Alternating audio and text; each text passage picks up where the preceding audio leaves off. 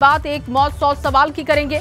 दरअसल उत्तराखंड के उधम सिंह नगर में पचास हज़ार की इनामी खनन माफिया ज़फ़र को गिरफ़्तार करने गई। यूपी की मुरादाबाद पुलिस पर खनन माफिया के साथियों ने फायरिंग कर दी। जवाबी कार्रवाई में ब्लॉक प्रमुख की पत्नी की गोली लगने से मौत हो गई है। मुरादाबाद पुलिस के पाँच जवान जख्मी हो गए। पाँचों को हॉस्पिटलाइज किया जा चुका है। ब्लॉक प्रमुख की पत्नी की मौत से गुस्साए ग्रामीणों ने कुंडा थाने के सामने एनएच चौहत्तर पर जाम भी लगा दिया। और घटना की गंभीरता को देखते हुए मौके पर दोनों राज्यों की पुलिस तैनात है। दरअसल खनन माफिया ज़फ़र पचास हज़ार का इनामी है। बुधवार शाम करीब चार बजे मुरादाबाद की ठाकुर द्वारा थाना की पुलिस और एसओजी की टीम उसके बारे में पता लगाने, उसे पकड़ने के लिए उत्तराखंड पहुँची। लेकिन वो फरार हो गया, पुलिस टीम ने उसका पीछा किया, लेकिन भागते भागते ज़फ़र ने लोगों को फ़ोन कर दिया। इस दौरान स्थानीय लोगों के साथ यूपी पुलिस के जवानों की मुठभेड़ हो गई। पाँच जो जवान हैं, इसमें जख्मी बताए जा रहे हैं।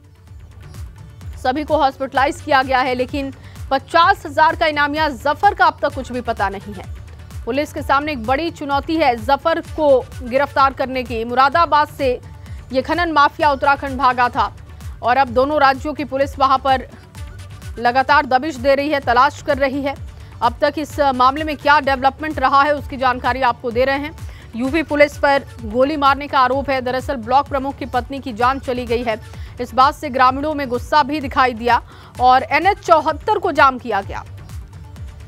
मुरादाबाद से भागे खनन माफिया ज़फ़र को पकड़ने के लिए पुलिस पहुँची थी एसओजी की टीम के साथ और उसी वक्त ये पूरा विवाद हुआ। फायरिंग के दौरान ब्लॉक प्रमुख की पत्नी गुरप्रीत कौर की मौत की जानकारी मिल रही है और यूपी पुलिस पर दबिश के वक्त गोली मारने का आरोप है। इसी मसले को लेकर विवाद काफ़ी बढ़ गया। फायरिंग के दौरान तीन पुलिसकर्मी घायल हो गए। जो दो लापता थे, उनकी जानकारी मिल चुकी है। उनको सकुशल बरामद किया गया है। हाउट परसुएट किया गया। आज जो है सूचना मिली जब पुलिस टीम को यहाँ पर, स्थानीय टीम को तो इसको चेज़ किया गया। और ये हमारे यानी उत्तर प्रदेश बॉर्डर से होता हुआ उत्तराखंड की तरफ़ गया। और वहाँ पर जो अभी तक जानकारी प्राप्त हुई है, घर में जाके इसने शरण ली। वहाँ पर जब पुलिस टीम पहुँची है तो वहाँ पे फोर्सफुली पुलिस टीम को बंधक बनाया गया। बंधक बनाने के उपरांत वहाँ पर जो हमारे पुलिस कर्मियों का कहना है कि वहाँ पर पहले बहुत ही गंभीर रूप से मारपीट की गई और जब पुलिस कर्मियों ने भागने का प्रयास किया तो उसमें बेतरती फायरिंग भी की गई है। अभी शुरू में हमने बताया था कि पाँच लोग इसके अंदर इंजर्ड है, जिसमें दो पुलिस कर्मियों की गोली लगी है, जो इंस्पेक्टर ठाकुर द्वारा है। उनके बारे में भी ये सूचना प्राप्त हुई है कि उनको भी गंभीर इंजरी है, बुलेट इंजरी संभवतः उनको भी हो सकती है पाँव के अंदर और वो भी अपना इलाज कराने के लिए पहुँचे हैं। जफ़र जो है, इसके ऊपर पचास हज़ार रुपये का इनाम था और बेसिकली जो है वहाँ पर जो टीम हमारी गई थी उसमें एसओजी की गाड़ी भी जो है वहाँ और वहीं काशीपुर में जसपुर के ज्येष्ठ ब्लॉक प्रमुख के घर सादी वर्दी में दबिश देने पहुँची यूपी पुलिस के साथ। नोकझोंक के दौरान चली गोली से ज्येष्ठ ब्लॉक प्रमुख की पत्नी की दर्दनाक मौत हो गई। और मौत से गुस्साए सैकड़ों लोगों ने घंटों तक एनएच चौहत्तर को जाम रखा। उत्तराखंड पुलिस के मान मनोबल के बाद लोगों ने जाम को खोला भी। बता दें कि वांछित की तलाश में पुलिस ब्लॉक प्रमुख के घर पर दबिश देने पहुँची थी, जहाँ पर ब्लॉक प्रमुख के द्वारा उत्तराखंड पुलिस को साथ लाने की बात कही गई।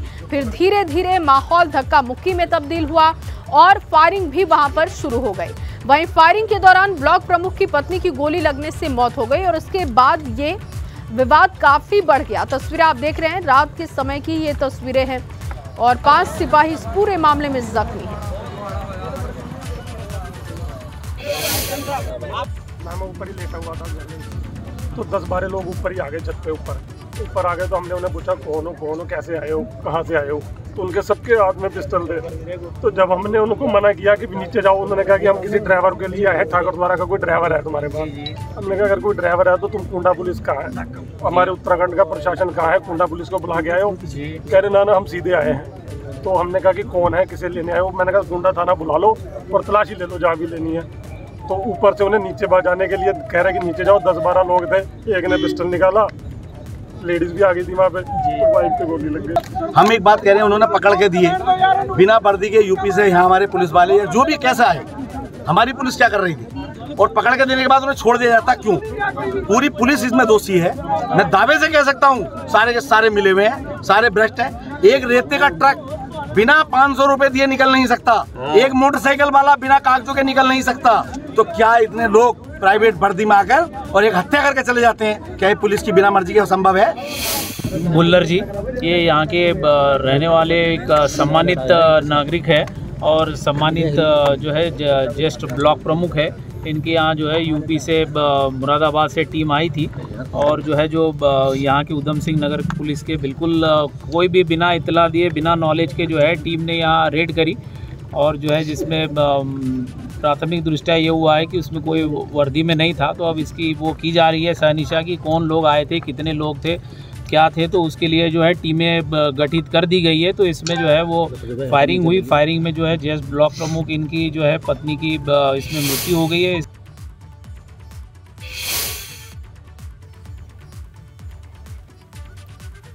और अब खबर मुरादाबाद से। बड़ी जानकारी आपको दे, कल हुए बवाल में लापता दोनों पुलिस वाले सकुशल मिल चुके हैं। जी हाँ, एसओजी प्रभारी इंस्पेक्टर रविंद्र और सिपाही मनोज सकुशल मिल चुके हैं। मुरादाबाद पुलिस ने राहत की सांस ली है। दरअसल पचास हज़ार का इनामी गैंगस्टर ज़फ़र अली, उसके साथ ही अभी भी गिरफ्त से बाहर है पुलिस के और यूपी और उत्तराखंड की पुलिस आरोपियों की तलाश में जुटी हुई है। कल का ये पूरा मामला है। बताएँ आपको कि कल जब बवाल हुआ तो दो पुलिस वाले लापता हो गए थे। अब उनकी जानकारी मिल चुकी है। एसओजी प्रभारी, इंस्पेक्टर रविंद्र और सिपाही मनोज दोनों ही सकुशल मिल चुके हैं। मुरादाबाद पुलिस ने राहत की सांस ली है। उनके बारे में लगातार जानकारी जुटाई जा रही थी। लेकिन सबसे बड़ी चुनौती अभी भी यही है कि पचास हज़ार का जो इनामिया है, वो पुलिस की गिरफ्त से बाहर है। कल पुलिस की टीम पर फायरिंग की गई। बताया जा रहा है कि पुलिस के ऊपर भी ये आरोप है। कि पुलिस की गोली लगने से एक महिला की मौत हो गई है। ब्लॉक प्रमुख की पत्नी की जान चली गई है। उसके बाद ये पूरा विवाद बढ़ा। मुरादाबाद से खनन माफिया ज़फ़र, उत्तराखंड भागा और वहाँ पर सादी वर्दी में पुलिस की टीम, एसओजी टीम के साथ पहुँची। उबेदुर रहमान इस वक्त हमारे साथ जुड़ चुके हैं। उबेदुर रहमान, और क्या डेवलपमेंट इस पूरे मामले में अब तक, क्या प्रोसेस अब तक रहा है? क्या जानकारी मिल पा रही है? ज़फ़र को तलाशने के लिए किस तरीके की अब तैयारी?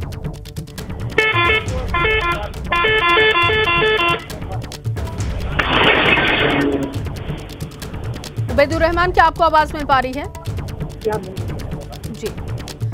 तो देखिए यूपी और उत्तराखंड की पुलिस आरोपियों की तलाश में जुटी हुई है लगातार और सबसे बड़ी चुनौती ज़फ़र की गिरफ्तारी इस वक्त बनी हुई है लेकिन सवाल यही है कि पुलिस की टीम पर जो आरोप लग रहे हैं कि सादी वर्दी में पुलिस की टीम पहुँची उत्तराखंड की पुलिस वहाँ साथ में नहीं रही।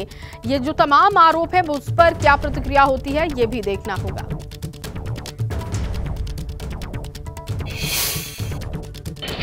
कहाँ कहाँ चोटें लगी हैं? मेरे पैरों में है पैरों में कमर पे बहुत चोट है। कमर को बहुत चोटें हैं। और क्या हुआ क्या था वहाँ पर? दबिश थी बस ये झगड़ा हो गया था तो जिसको पकड़ने गए थे इनामी बद- वो जो खनन माफिया है क्या वो भाग गए हैं वहाँ से क्या हुआ? था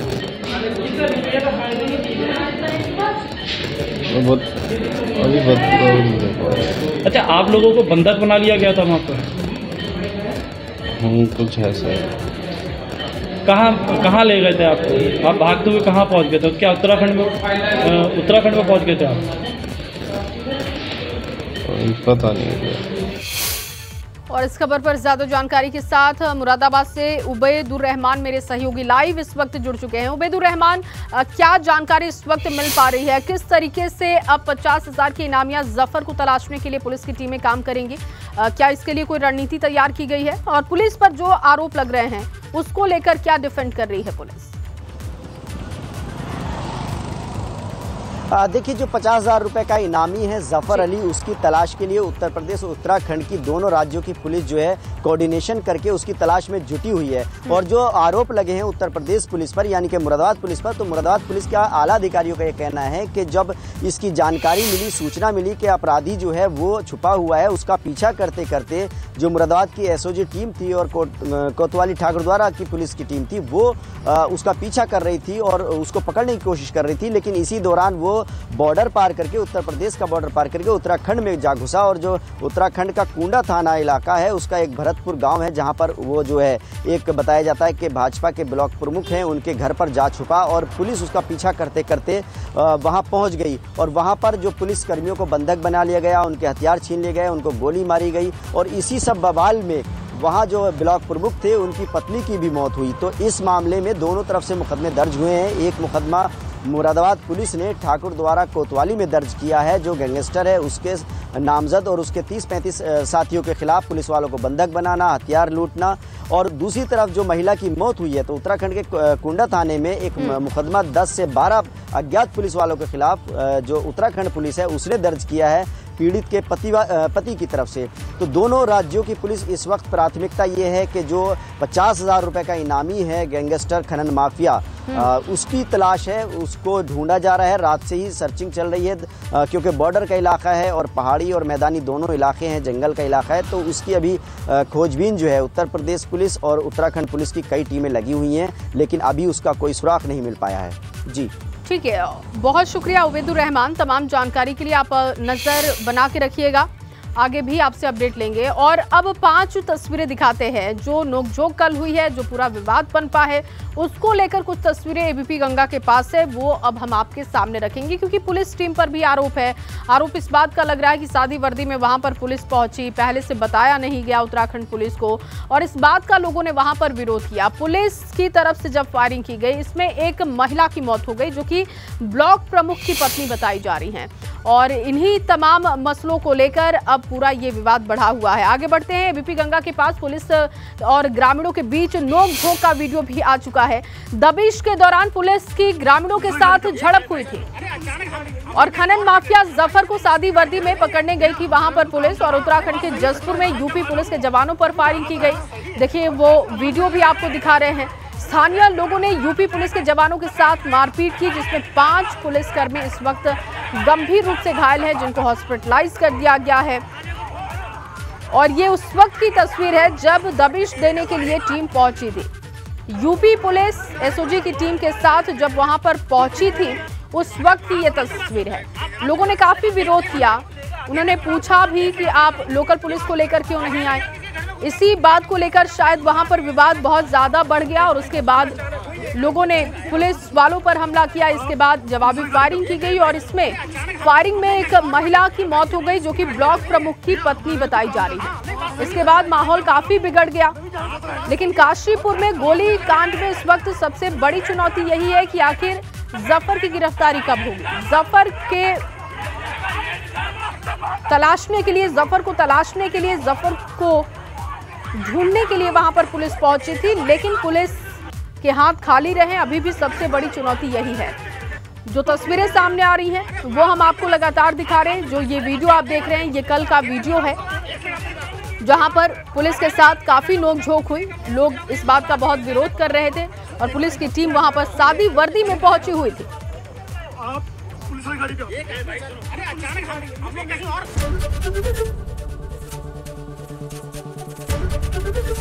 एबीपी गंगा। खबर आपकी जुबा आपकी।